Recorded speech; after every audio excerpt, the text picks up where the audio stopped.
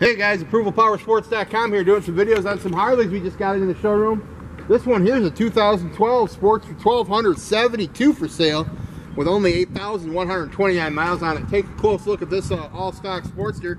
Comes in the hard candy big red flake paint.